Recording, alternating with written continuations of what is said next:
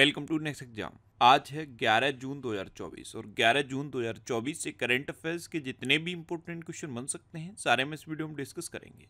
और हर क्वेश्चन से रिलेटेड इंपॉर्टेंट फैक्ट भी मैं आपको बताऊँगा तो आप पूरा वीडियो बहुत ध्यान से देखिए। लास्ट में मैं आपसे क्वेश्चन पूछूँगा, उसका आंसर आपको कमेंट बॉक्स में बताना है। आज की इस वीडियो की पीडीएफ फ़ाइल आप इस वीडियो के डिस्क्रिप्शन से डाउनलोड कर सकते हैं। पीडीएफ आप हमारे टेलीग्राम ग्रुप से भी डाउनलोड कर सकते हैं। टेलीग्राम ग्रुप पर आपको सारी पीडीएफ एक साथ मिल जाएँगी। और टेलीग्राम ग्रुप का लिंक मैंने इस वीडियो के डिस्क्रिप्शन में दे दिया है तो आप उस लिंक पर क्लिक करके टेलीग्राम ग्रुप ज्वाइन कर सकते हैं। तो चलिए स्टार्ट करते हैं। पहला क्वेश्चन है, हाल ही में अंतर्राष्ट्रीय अभिलेखागार दिवस कब मनाया गया है? तो अभी अंतर्राष्ट्रीय अभिलेखागार दिवस ये 9 जून को मनाया गया तो इस क्वेश्चन का बे ऑप्शन सही है। अभिलेख और अभिलेखागारों के महत्व के बारे में जागरूकता बढ़ाने के लिए हर साल 9 जून को ये अंतर्राष्ट्रीय अभिलेखागार दिवस मनाया जाता है। अच्छा तीन तरह के डे होते हैं। एक तो ये होता है अंतर्राष्ट्रीय, एक होता है राष्ट्रीय और एक होता है विश्व। तीनों में अंतर क्या है? तो जो वर्ल्ड डे होते हैं, यानी कि विश्व दिवस होते हैं, ये दुनिया के हर देश में मनाए जाते हैं।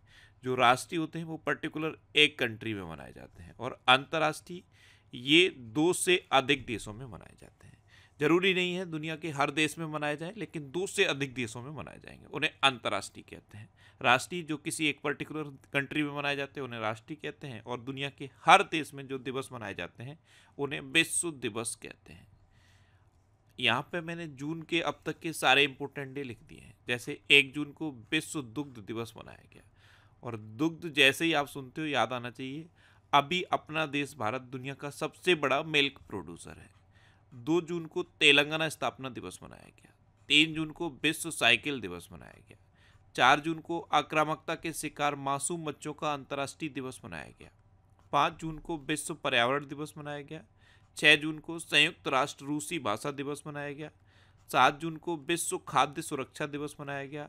आठ जून को विश्व महासागर दिवस मनाया गया और नौ जून को विश्व प्रत्यायन दिवस मनाया गया। नए क्वेश्चन है।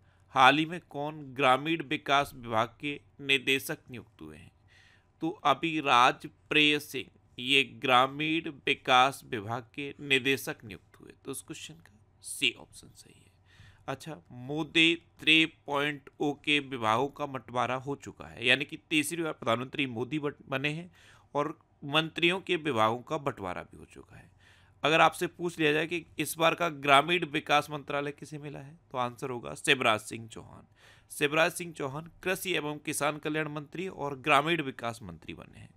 ऊपर के जो टॉप फोर मंत्रालय हैं, वो सेम रहे हैं। जैसे प्रधानमंत्री मोदी के बाद गृह मंत्रालय है अमित शाह के पास रक्षा मंत्रालय है राजनाथ सिंह के पास, सड़क परिवहन मंत्रालय है, नितिन गडकरी के पास, विदेश मंत्रालय है एस जयशंकर के पास और वित्त मंत्रालय भी निर्मला सीतारमण के पास ही है। ऊपर के जो टॉप मंत्रालय है, वो बदले नहीं गए हैं।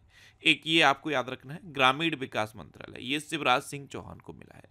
अच्छा शहरी एवं आवास, इस बार का शहरी एवं आवास मंत्रालय किसे मिला है? ये मिला है हरियाणा के पूर्व चीफ मिनिस्टर मनोहर लाल खट्टर को। अच्छा राकेश रंजन को कर्मचारी चयन आयोग का अध्यक्ष नियुक्त किया गया है। प्रदीप कुमार त्रिपाठी को लोकपाल का सचिव नियुक्त किया गया है। पे संतोष को N A R C L का M D and C E नियुक्त किया गया। संजीव जैन विप्रो के नए सी ओ ओ बने हैं। एदासिसा नोंगरोंग, ये मेघालय की पहली महिला पुलिस महानिदेशक नियुक्त हुई हैं और एन चंद्रशेखरन को टाटा इलेक्ट्रॉनिक्स का अध्यक्ष नियुक्त किया गया। नए क्वेश्चन है। हाल ही में पेरू और किस देश ने शांतिपूर्ण चंद्र अन्वेषण के लिए आर्टिमिस समझौते पर हस्ताक्षर किए? तो अभी पेरू और स्लोवाकिया ने शांतिपूर्ण चंद्र अन्वेषण के लिए आर्टेमिस समझौते पर हस्ताक्षर किए। तो उस क्वेश्चन का बे ऑप्शन सही है। ये है मैप में स्लोवाकिया। स्लोवाकिया की कैपिटल क्या है? ब्रिटिश लावा स्लोवाकिया की करेंसी क्या है? यूरो और स्लोवाकिया के प्रेजेंट टाइम पे प्राइम मिनिस्टर कौन है? रॉबर्ट फिको कौन है? रॉबर्ट फिको नए क्वेश्चन है। हाल ही में किस देश की संसद और नेशनल असेंबली को राष्ट्रपति ने भंग कर दिया है? तो फ्रांस के राष्ट्रपति हैं एमैनुअल मैक्रोन। इन्होंने अभी फ्रांस की संसद और नेशनल असेंबली को भंग कर दिया। तो उस क्वेश्चन का बे ऑप्शन सही है। अब फ्रांस तो ये है मैप में फ्रांस।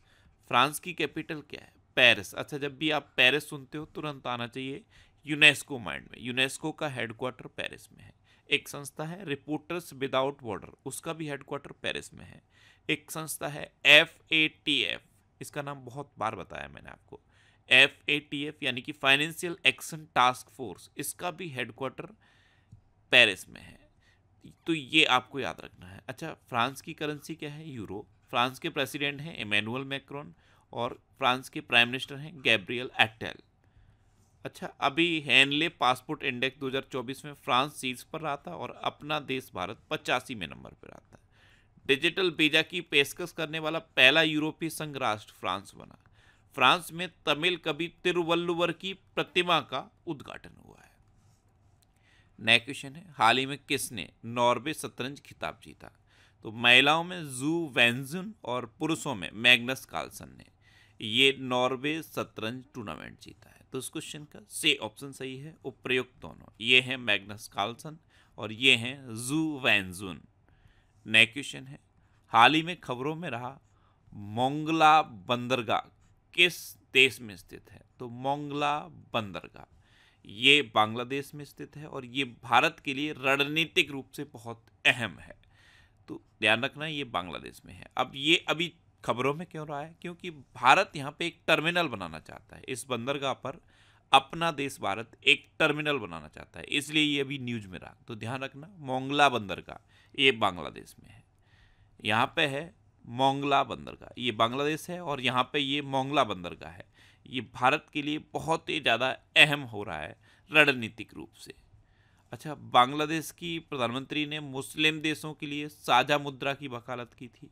बांग्लादेश में दो दिवसीय नजरुल उत्सव शुरू हुआ। खासी स्वतंत्रता सेनानी यू तिरोड सिंह की प्रतिमा का अनावरण ढाका में किया गया। बांग्लादेश ने अंडर 19 एशिया कप खिताब जीता है। नए क्वेश्चन है। हाल ही में कौन अल्टीमेट फाइटिंग चैंपियनशिप जीतने वाली पहली भारतीय महिला बनी है? तो ये पूजा तोमर बनी है। ये हैं पूजा तोमर। और यू एफ़ सी यानी कि अल्टीमेट फाइटिंग चैंपियनशिप जीतने वाली ये पहली भारतीय महिला बन गई हैं। तो उस क्वेश्चन का बे ऑप्शन सही है। नए क्वेश्चन है। हाल ही में रितिका हुड्डा ने बुडापेस्ट रेसलिंग सीरीज़ में कौन सा पदक जीता है? तो रितिका हुड्डा इन्होंने अभी बुडापेस्ट रेसलिंग सीरीज़ में रजत पदक जीता। तो उस क्वेश्चन का सी ऑप्शन सही है। ये है रितिका हुड्डा नए क्वेश्चन है। हाल ही में फ़ोनपे ने किस देश में पिकमी के साथ साझेदारी की? तो फ़ोनपे ने अभी श्रीलंका में। श्रीलंका का एक प्लेटफॉर्म है पिकमी, इसके साथ साझेदारी की है। तो उस क्वेश्चन का बे ऑप्शन सही है। एक्चुअल में श्रीलंका में जो भारतीय पर्यटक जाते हैं, वो वहाँ पे यूपीआई का उपयोग कर पाए और आसानी से उपयोग कर पाए। इसके लिए फ़ोनपे ने एक श्रीलंकन प्लेटफॉर्म पिकमी के साथ साझेदारी की है। अब श्रीलंका तो ये है मैप में श्रीलंका। श्रीलंका कैपिटल क्या है? कोलंबो और श्री जयवर्धनीपुरम कोट्टे। कोलंबो कॉमर्शियल कैपिटल है और श्री जयवर्धनीपुरम कोट्टे एडमिनिस्ट्रेटिव कैपिटल है। श्रीलंका की करेंसी क्या है? श्रीलंकन रूपी श्रीलंका के प्रेजेंट टाइम पे प्राइम मिनिस्टर कौन है? दिनेश गुड़वर्धन और श्रीलंका के प्रेजेंट टाइम पे प्रेसिडेंट कौन है? रनिल विक्रम सिंघे अच्छा यहाँ पे पाक स्टेट है। ये जो आपको दिख रहा है, ये पाक स्टेट है। और यहाँ पे एक कच्छ कच्छतीबू द्वीप था। कच्छ कच्छतीबू द्वीप को भारत ने श्रीलंका को दे दिया है। तो ये ध्यान रखना है, यहाँ पे कच्छतीबू द्वीप है। अच्छा अभी श्रीलंका में भारतीय आवास परियोजना के अंतर्गत 1300 घरों के निर्माण का औपचारिक शुभारंभ हुआ। वनडे में दोहरा शतक लगाने वाले पहले श्रीलंकाई क्रिकेटर पथुम निशंका बने। श्रीलंका और मॉरिशस ने यूपीआई सर्विस को वर्चुअली लॉन्च किया है। भारत श्रीलंका के पर्यटन स्रोत के रूप में शीर्ष पर रहा है और नए भारतीय उच्चायुक्त संतोष झा ने श्रीलंका में पदभार ग्रहण किया है। नए क्वेश्चन है। हाल ही में कौन भारतीय नौसेना की पहली महिला हेलीकॉप्टर पायलट बनी है? तो ये अनामिका राजीव बनी है। तो इस क्वेश्चन का से ऑप्शन सही है। ये हैं अनामिका राजीव और यही भारतीय नौसेना की पहली महिला हेलीकॉप्टर पायलट बनी है। नए क्वेश्चन है। हाल ही में फ्रेंच ओपन 2024 पुरुष एकल खिताब किसने जीता? फ्रेंच ओपन 2024 पुरुष एकल खिताब। ये कार्लोस अल्कराज ने जीता। तो उस क्वेश्चन का ए ऑप्शन सही है। ये है कार्लोस अल्कराज। अच्छा अगर आपसे पूछ लिया जाए कि फ्रेंच ओपन 2024 महिला एकल खिताब किसने जीता है? तो एगा स्वेटेक किसने? एगा श्वेटेक। ये यहाँ पे मैंने लिख दिया है। Man single Carlos Alcaraz women's single Iga Swiatek ये सारे मैंने यहाँ पे लिख दिए लेकिन ये दो इंपॉर्टेंट है कार्लोस अल्कराज और एगा स्वेटेक नए क्वेश्चन है, हाल ही में बेलियम एंडर्स का निधन हुआ है, वे कौन थे? तो बेलियम एंडर्स अमेरिका का जो अपोलो एट मिशन था, उसके ये अंतरिक्ष यात्री थे और अभी एक विमान हादसे में इनका निधन हो गया। तो उस क्वेश्चन का बे ऑप्शन सही है। नए क्वेश्चन है। हाल ही में भारत की एग्जिम बैंक ने कहाँ अपना कार्यालय खोला है? ध्यान रखना, ये एग्जिम बैंक है। एक्सिस बैंक अलग है और ये है एग्जिम बैंक। एग्जिम बैंक की फुल फॉर्म पता है क्या है? Export import bank. क्या है? Export import bank of India.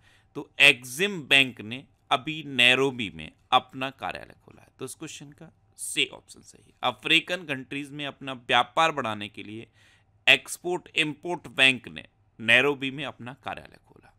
नए क्वेश्चन है। हाल ही में किसने अपनी आत्मकथा सोर्स कोड माई बिगिनिंग्स को लॉन्च किया? तो ये बिल गेट्स की आत्मकथा का नाम है सोर्स कोड माई बिगिनिंग्स इसे अभी बिल गेट्स ने लॉन्च कर दिया है। तो उस क्वेश्चन का सी ऑप्शन सही है। ये है बिल गेट की आत्मकथा सोर्स कोड माई बिगिनिंग्स ये नाम याद रखना है। सोर्स कोड माई बिगिनिंग्स और ये किसकी आत्मकथा है? बिल गेट्स की। नेक्स्ट क्वेश्चन है।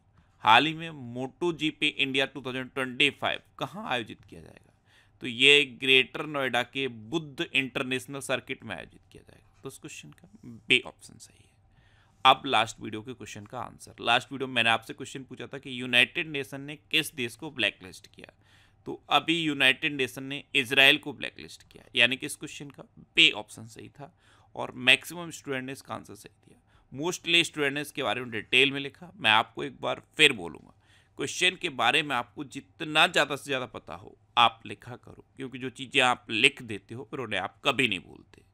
अब आपके लिए रिवीजन के क्वेश्चन अभी क्यूएस वर्ल्ड यूनिवर्सिटी रैंकिंग जारी की गई थी। इसमें एमआईटी टॉप पर रहा था। और भारत का आईआईटी मुंबई पता है कितने नंबर पर रहा था? 118वें नंबर पर। दुनिया भर की रैंकिंग में ये 118वें नंबर पर है। लेकिन भारत में देखा जाए तो भारत में ये पहले नंबर पर है।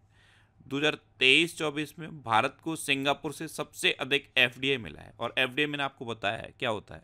फॉरेन डायरेक्ट इन्वेस्टमेंट जो विदेशी कंपनियाँ भारत में आके इन्वेस्ट करती हैं, उसे हम एफडीआई कहते हैं। अच्छा ग्रेस पनामा डेनमार्क सोमालिया और पाकिस्तान को यूएनएससी यानी कि यूनाइटेड नेशन सिक्योरिटी काउंसिल का अस्थायी सदस्य चुना गया। तेलंगाना सरकार ने गुटखा और पान मसाला पर एक साल के लिए प्रतिबंध लगाया है। आपको पता है, तेलंगाना की स्थापना कब हुई थी? 2 जून 2014 को। और जब स्थापना हुई थी तो डिसाइड हुआ था कि अगले 10 साल के लिए दोनों की कॉमन कैपिटल हैदराबाद रहेगी। और अभी क्या चल रहा है? 2024 महीना कौन सा है? जून। डेट दो जून निकल चुकी है। तो दस साल पूरे हो गए और अब दोनों की सेपरेट कैपिटल है। रूस तालिबान को आतंकवादी सूची से हटाएगा।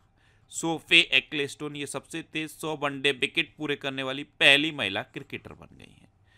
बिहार में नागी और नकटे अभ्यारण्य अंतर्राष्ट्रीय आर्द्र भूमि बन गए हैं। भारत पहली बार कोलंबो प्रोसेस का अध्यक्ष बना है और कोलंबो प्रोसेस में कितने मेंबर कंट्री हैं? बारह जिबूती, ये एक अफ्रीकन कंट्री है। इसने मलेरिया से लड़ने के लिए अनुवांशिक रूप से संशोधित मच्छर छोड़े हैं। दुनिया का सबसे लंबा पैदल सस्पेंशन ब्रिज ये हंगरी में खुला है। एक सीज़न में सबसे ज़्यादा गोल करने वाले फुटबॉलर क्रिस्टियानो रोनाल्डो बने हैं। नेपाल ने 28 मई 2024 को अपना सत्रहवा गणतंत्र दिवस मनाया है। हिमाचल प्रदेश में सबसे अधिक जंगल में आग की घटनाएँ दर्ज की गई हैं। एनएचआरसी ने नाता प्रथा के उन्मूलन का आह्वान किया है। एयरपोर्ट काउंसिल इंटरनेशनल की नवीनतम रिपोर्ट के अनुसार विश्व का सबसे व्यस्त हवाई अड्डा हटसन फेल जैक्सन बना है। ये यूएसए में है। सिक्किम एआई संचालित यातायात प्रबंधन प्रणाली शुरू करेगा। विराट कोहली को ICC ODI player of the year 2023 का पुरस्कार मिला है और चीन के space mission Chang'e six ने चंद्रमा के सबसे अंधेरे हिस्से में सफल लैंडिंग की। अब आपके लिए आज का क्वेश्चन आपके लिए आज का क्वेश्चन है विश्व प्रत्ययन दिवस कब मनाया गया? यानी कि वर्ल्ड एक्रीडेशन डे ये कब मनाया गया? चार ऑप्शन दिए गए हैं। इनमें से आपको अपना आंसर बताना है। और इसके अलावा हम हमारे फेसबुक पेज पर previous year question daily post करते हैं। तो आप फेसबुक पर नेक्स्ट एग्ज़ाम सर्च करके हमारा फेसबुक पेज ज्वाइन कर सकते हैं, क्योंकि प्रीवियस ईयर क्वेश्चन आपको बहुत हेल्प करते हैं। अगर आपको किसी क्वेश्चन में कोई डाउट होता है या आपको अपने करियर से रिलेटेड भी कोई प्रॉब्लम है तो आप इंस्टाग्राम फेसबुक और एक्स पर इंद्रेश आरसी सर्च करके मेरे साथ जुड़ सकते हैं और कोई भी डाउट कोई भी confusion without any hesitation discuss कर सकते हैं। तो ये था आज का हमारा करंट अफेयर्स का वीडियो आपको ये वीडियो कैसा लगा? प्लीज़ कमेंट बॉक्स में ज़रूर बताना। और अगर अभी तक भी आपने हमारे इस चैनल को सब्सक्राइब नहीं किया है तो इसे आप सब्सक्राइब कर लीजिए। आपको इस चैनल से निश्चित ही मदद मिलेगी।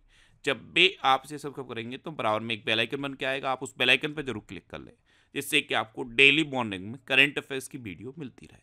Next exam always with you thanks for watching